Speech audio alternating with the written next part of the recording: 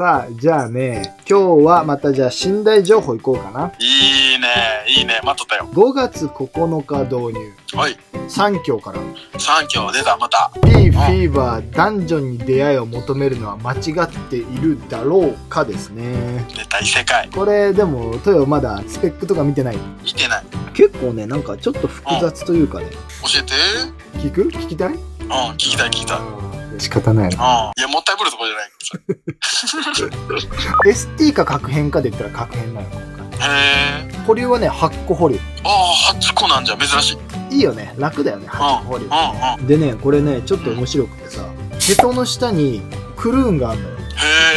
で、クルーンがあって、穴が3つあって、奥2つが当たり。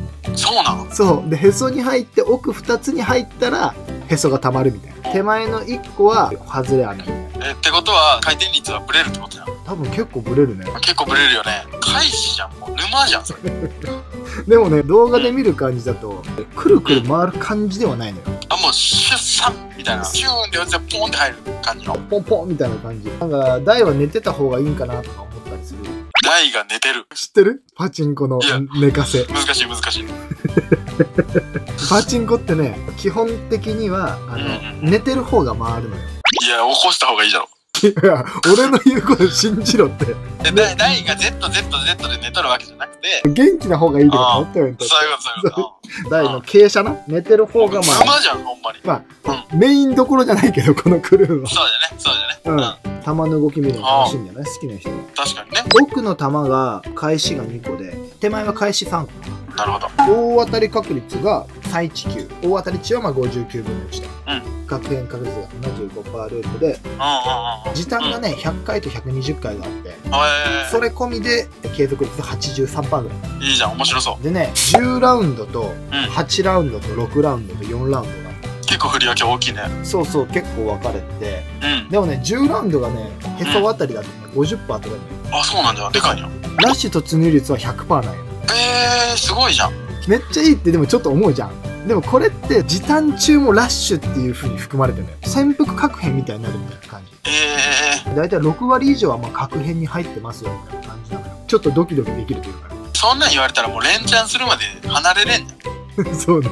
でもねちゃんとね潜伏中は右打ちになって時短だから。あ、そうなん？そうそうそう。通常時の潜伏じゃなくて。ああ、そうなんじゃ。そうだから右打ち中に内部的に確変かいやでもじ今時短の100回か120回を消化しているかっていうのはその潜伏で分かんないよみたいになって。る、ああ、なるほどね、なるほどね。理解、理解。へまあもちろん。確変が確定したみたいな演出もあるんだよえゴールドラッシュ神無限ってなったら、神無限。うん確変が濃厚になったらマジ神って出るから、えー、すげえ。いいね。うんいろんな女の子がねダンジョンに出会い求めとるなんて、それ。確かに主人公のなんか女の子なのヘスティアちゃん？あ、テユン？巨乳のピチピチの服着てる女の子いいね。いいね。うん。あの子とか確かにやばいもんなあれ出会いを求めたら、多分殺されるんだろうね。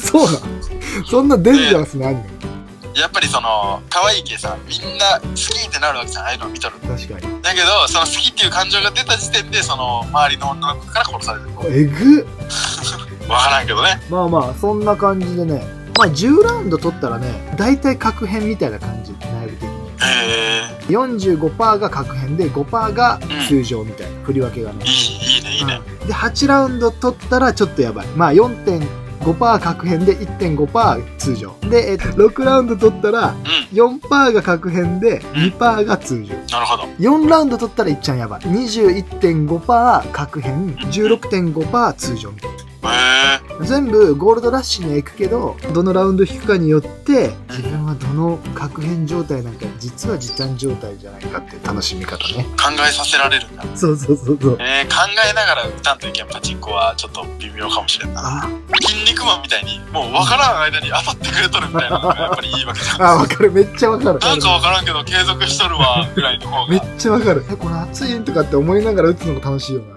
そう。まあセグ見たら多分こんなんすぐわかるんだろうけどね格上のセグと多分通常の時短セグ多分もうあるかえー、あるじゃろうね。今、傭兵がセグって言ったけど思い出したけど、隣の人が当たった時にセグ見るんよ、俺。このセグでラッシュに入らんかったら、俺が当たった時に、このセグが来た時は終わりだなって思う。らさっきさ前も言ったけど隣の台見んなってお前ほんまにほんと嫌だから、俺。もう嫌だ。隣の台にいるけどその人。人のセグと違うのが来たらラッシュあるかもってあのね、ブーストモードっていうのがあるんだよ。早そう早いんよ、ここが。最近のやつね最近のやつ最近のやつ。だからこれがね、あどうだろうな。でもユニコーンぐらい早いと思う。このブーストモード入ったら。